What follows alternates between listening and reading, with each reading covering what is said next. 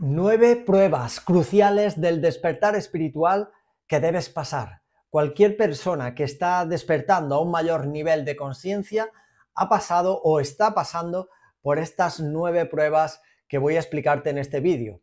Vamos a hablar de verdadera espiritualidad, la vamos a unir como siempre de forma práctica al crecimiento personal, a la vida diaria. De hecho, lo más importante que tenemos que hacer en nuestra vida a nivel espiritual es centrarnos en lo, que tenemos cerca, es decir, en nuestras relaciones personales, en nuestra área profesional, laboral, e ir mejorando todo eso. Y por supuesto, en nuestra salud física, los hábitos de vida, a nivel de salud, también a nivel mental. Eso es fundamental.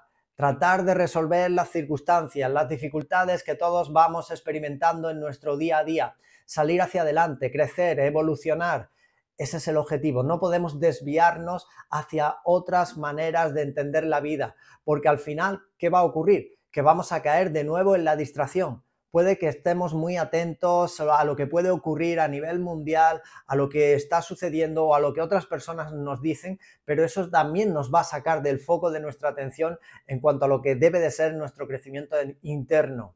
Ser mejores personas cada día, relacionarnos mucho mejor con nosotros mismos y con las demás personas, hacer el bien, no hacer daño a nadie, actuar desde el amor verdadero, iniciar un camino de crecimiento en el área profesional donde te sientas realizado, donde puedas ser lo más libre posible en este mundo. De eso va el despertar espiritual. Y las personas que despiertan a un mayor nivel de conciencia pasan por estas pruebas que vamos a desarrollar juntos, así que te va a servir para mejorar, para empoderarte, para confiar en ti mismo, para pasar a la acción, llevar a cabo tus sueños. Quédate hasta el final porque te aseguro que te va a ayudar muchísimo. Mi nombre es Luis Garre, soy mentor, terapeuta, escritor, divulgador de contenido para el despertar de la conciencia humana y ayudo a cientos de miles de personas desde hace ya muchos años a través de mis libros, mentorías, cursos, formaciones que tienes disponibles en mi página web. Justo debajo de este vídeo tienes un enlace. También te puedes suscribir a mi lista de correo donde estoy enviando un email diario que eleva la vibración y que vas a desear abrir cada día porque es un contenido exclusivo que solamente comparto allí en la lista de correo. Así que suscríbete y vamos a comenzar ahora sí con las nueve pruebas que toda persona atraviesa cuando despierta a un mayor nivel de conciencia. La primera, experimentar el vacío. Bueno, cuando hablamos de vacío, ¿qué es eso? Estamos hablando de conceptos metafísicos, pero todos comprendemos lo que significa el vacío. Estamos hablando sobre todo de un estado de atención, de presencia, de no distraernos eh, a través de todo lo que son los focos de distracción en los que vivimos, de tratar de mirar hacia adentro. Seguramente lo has experimentado en un estado así, algo parecido a lo que llamamos la meditación. Es introspección, es silencio, es no sentirte apegado a nadie ni a nada, es sentir que formas parte de todo cuanto existe y que tú eres esa energía. Ahí es donde se diluye nuestro ego, el personaje artificial del que tantas veces he hablado en vídeos anteriores, la conexión con la conciencia infinita, con la energía de todo cuanto existe. Y ese es el vacío, cuando nosotros sentimos ese silencio que es difícil de, conseguir si no es en un estado meditativo, pero que por supuesto existe. Es ese espacio que hay entre cada ruido, cada frecuencia que experimentamos en este mundo. Y la mejor manera de llegar a experimentar el vacío es en esos estados de meditación, también eh, cerca de la somnolencia, es decir, si tú haces una meditación cerca de los estados de somnolencia, antes de ir a dormir, justo antes, cuando estás ya durmiéndote o justo al despertar, vas a experimentar mucho más fácil esta sensación de vacío que transmite una paz y que realmente nos lleva al origen, a donde a nuestro verdadero hogar, de donde nosotros somos en realidad y cuando desencarnemos de este cuerpo físico veremos de una manera mucho más clara. Así que experimentar el vacío seguro que una persona que está despertando espiritualmente en microsegundos, aunque sean microsegundos, lo habéis podido experimentar. Y me gustaría saber en los comentarios, a través de todas estas señales, todas estas pruebas, si te está ocurriendo, si puedes aportar algo nuevo, porque leo todos los comentarios y ahí podemos aprender todos de todos. La segunda, desidentificarte con el ego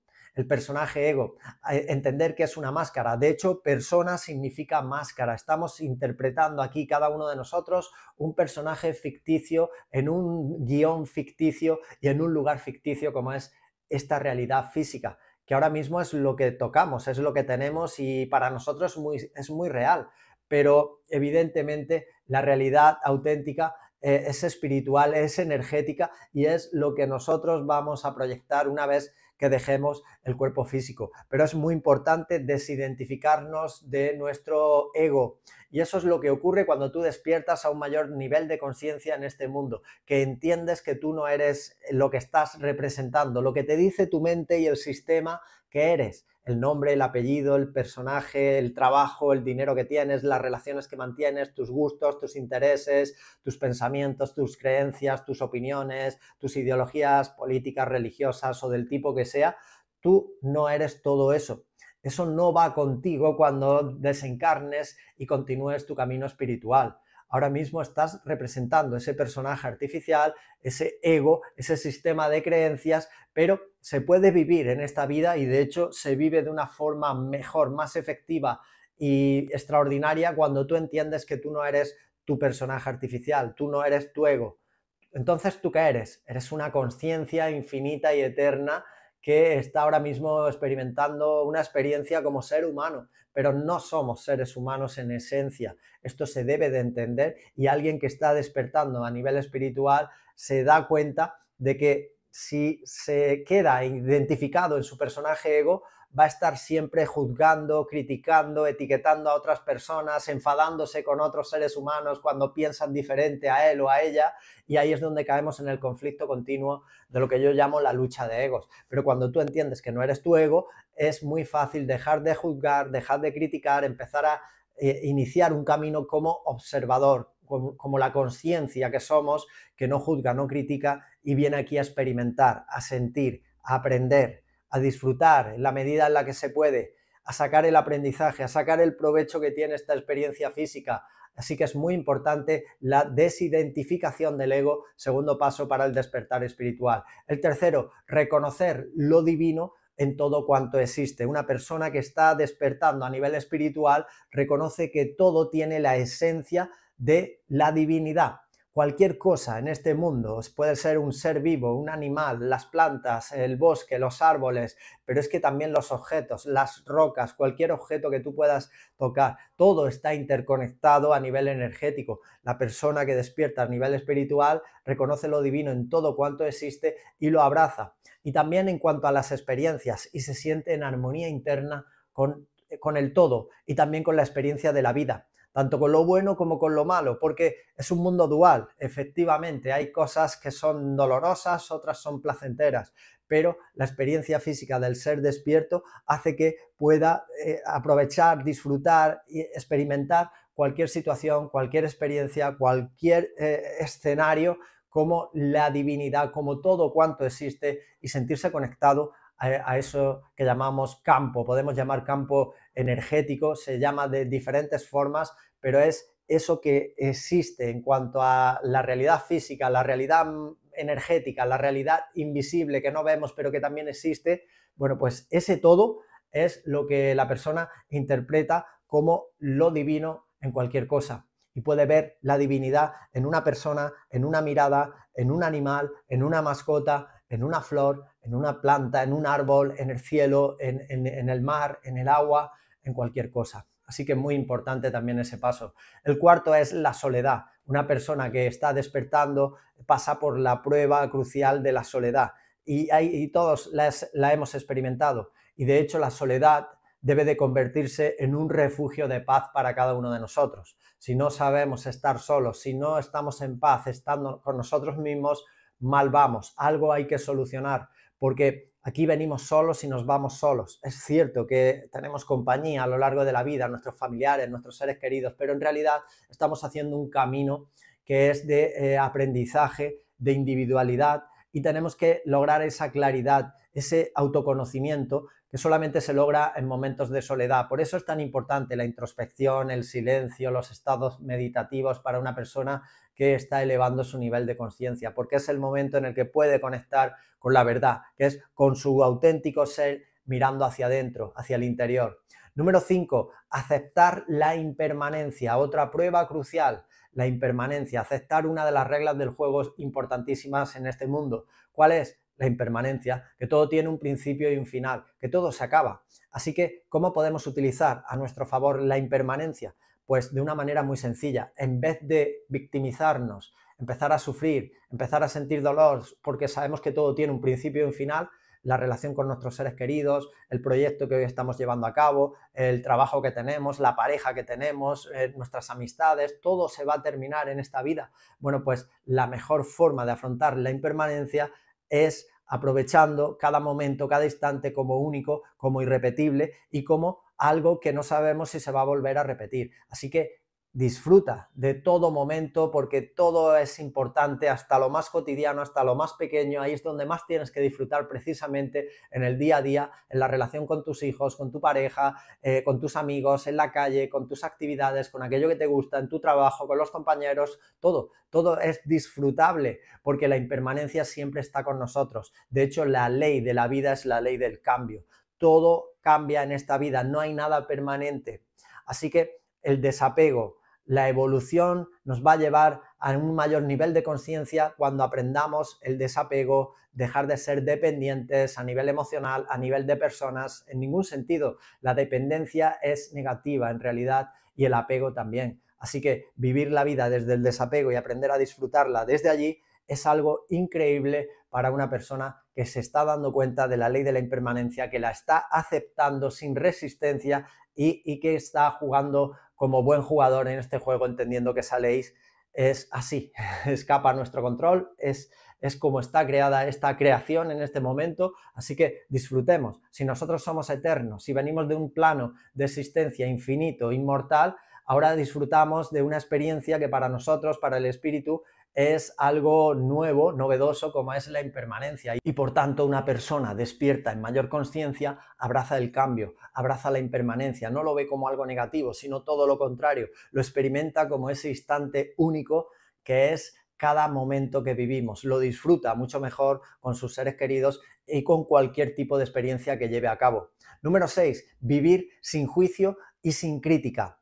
Ya hemos entendido que cuando nos desidentificamos del personaje ego y sabemos que somos esa conciencia infinita y eterna expresándose en un mundo impermanente, lleno de límites y, la dualidad también que está ahí para enseñarnos, ¿qué va a ocurrir? Bueno, pues que vamos a vivir esta vida sin, juzgar a nadie, sin criticar, simplemente observando y experimentando. Pero la conciencia no ha venido aquí a dar lecciones o a decirle a otra persona lo que tiene que hacer, lo que tiene que pensar o lo que tiene que decir, sino que simplemente sabe que todo es como, como está siendo y se siente en paz con cualquier cosa que ocurre.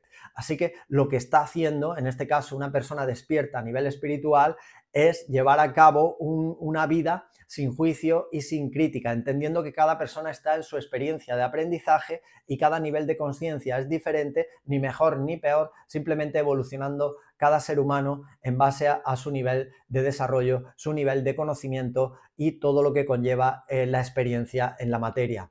Número 7. Confiar en tu intuición.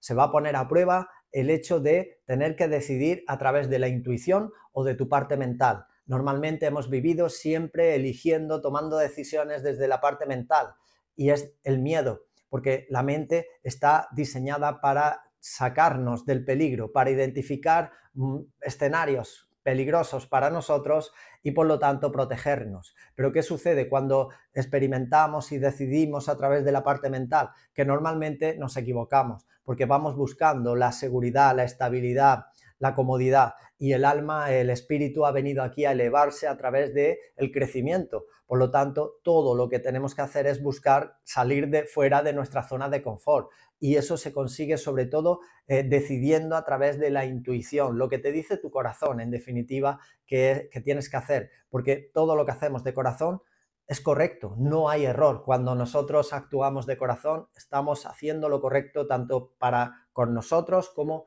para con los demás seres humanos. Así que la intuición, la brújula que tenemos que seguir es fundamental y se va a poner a prueba. Vas a tener que darte cuenta lo que viene de eh, tu parte mental, lo que viene de tu parte intuitiva del corazón y por supuesto darle, darle prioridad a la parte de la intuición. Número 8. Trascender el materialismo. Si hay algo que es una auténtica trampa también en este mundo es lo material.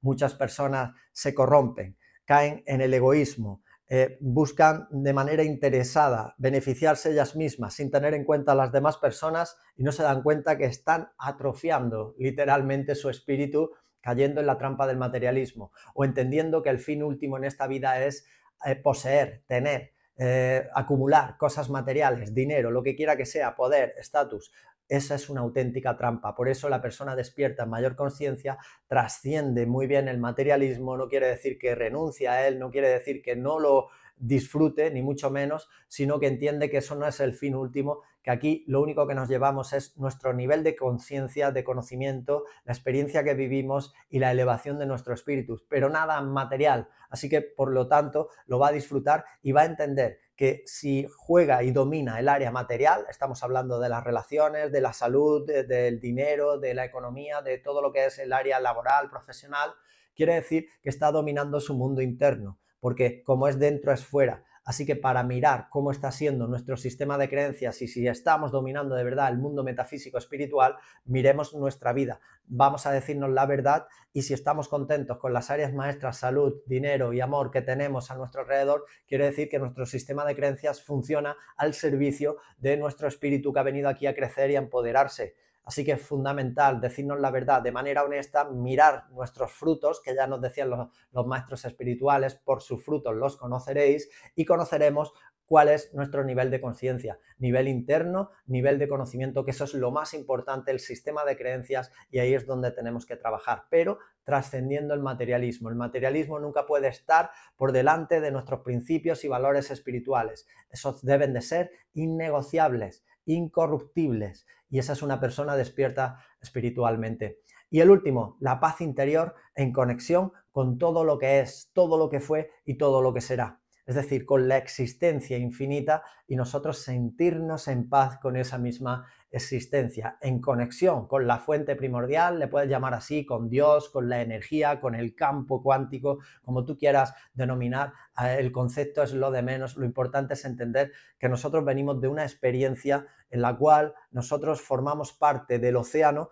en este momento representamos una gota de agua de ese océano, cada uno con su individualidad, con sus opiniones, con su nivel evolutivo, con su nivel de conciencia, pero que en esencia somos parte de ese mismo océano del que nos hemos desprendido para experimentar a nivel individual, pero del que formamos parte en esencia, aunque ahora estemos representando como una gota de agua, somos ese océano. El océano sería Dios, la energía, el campo de, todas las posibilidades, todo lo que fue, es y será, y nosotros tenemos que sentirnos en paz con esa conexión que es la verdadera y que por cierto es hacia adentro, siempre es hacia adentro, hacia nuestro ser interior ahí es donde está Dios, ahí es donde está la verdad, ahí es donde está todo lo que tenemos que trabajar en este mundo y en lo que venga después en otras dimensiones. Así que quería explicar las nueve pruebas cruciales para el despertar espiritual. Creo que una enseñanza muy intensa. Creo que también me gustaría saber vuestro, en los comentarios vuestra opinión, si estáis atravesando algunas de ellas, si ya las habéis atravesado, si os sentís identificados. Voy a leer todos los comentarios y vamos a aprender todos de todos. Así que comenta, dale like si te ha gustado, comparte el vídeo para que más personas despierten ya este nivel de conciencia. Suscríbete al canal porque voy a seguir subiendo vídeos de este nivel y mejores todavía en, el ámbito espiritual y el crecimiento personal. Y si quieres entrenar junto a mí ya a nivel profundo, tienes el mejor curso que existe el desarrollo espiritual. Se llama La disidencia de los despiertos. Son seis tomos, 1700 páginas, donde he recopilado lo mejor de lo mejor de la verdadera espiritualidad para el empoderamiento personal, la autoconfianza y la creación de realidad propia. También puedes entrenar junto a mí las formaciones que están en mi página web o la mentoría privada donde vamos a estar tú y yo un mes y medio para revolucionar tu vida en todas las áreas, salud física y mental, relaciones, el área económica. Nos vemos en la mentoría, nos vemos dentro, en el interior de los libros o mañana mismo en un nuevo vídeo. Que pases un feliz día. Gracias de todo corazón por seguir avanzando, creciendo y mejorando tu vida en mayor conciencia y recuerda que nuestro único propósito en este mundo es despertar al espíritu que somos en esencia, salir de la mentira, de la trampa de la mente, de la trampa del sistema en el que vivimos y ser nosotros mismos expandiéndonos en mayor energía. Mi alma saluda a tu alma.